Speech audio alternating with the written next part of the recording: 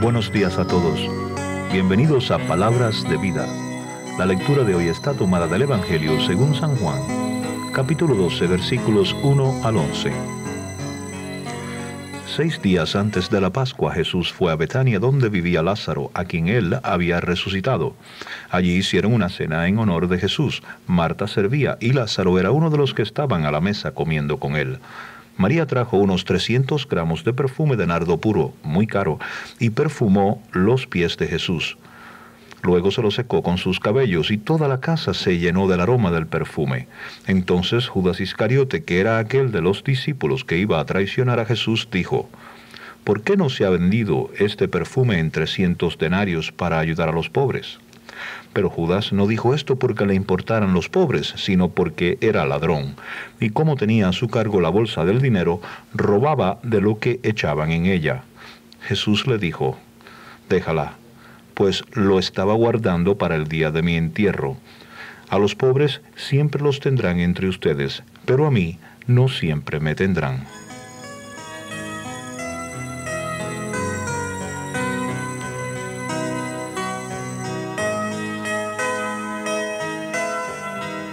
La lectura de hoy nos va preparando para lo que ha de ocurrir este viernes.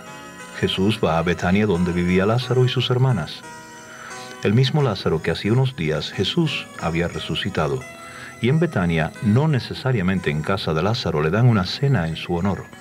Mucha gente se estaba separando de los judíos y uniéndose a los que creían en Jesús a causa de la resurrección de Lázaro. Me gustaría pensar que era una fiesta bastante grande. Y en medio de todo eso ocurre un suceso que se puede interpretar de varias maneras. La cultura oriental tenía la costumbre hospitalaria de la unción. Era común ungir a los invitados con aceites y perfumes cuando estaban de visita. También, dado los métodos de enterrar y embalsamar, una unción de perfume era presagio de muerte.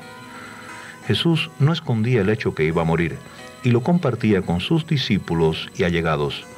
Además, María, la hermana de Lázaro, estaba profundamente agradecida por lo que el Señor había hecho con su hermano.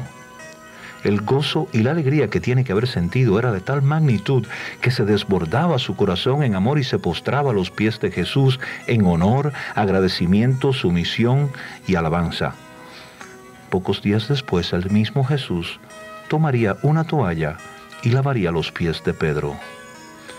Yo me pregunto, si a mí Jesús o alguno de los apóstoles o discípulos me hubiese salvado un hermano o una hermana, un hijo o una hija, o quizás a mí mismo, ¿qué límite pondría yo a la hora de dar a Jesús todo el honor y toda la gloria que Él merece? Amén. Con palabras de vida, les habló Pete Suárez.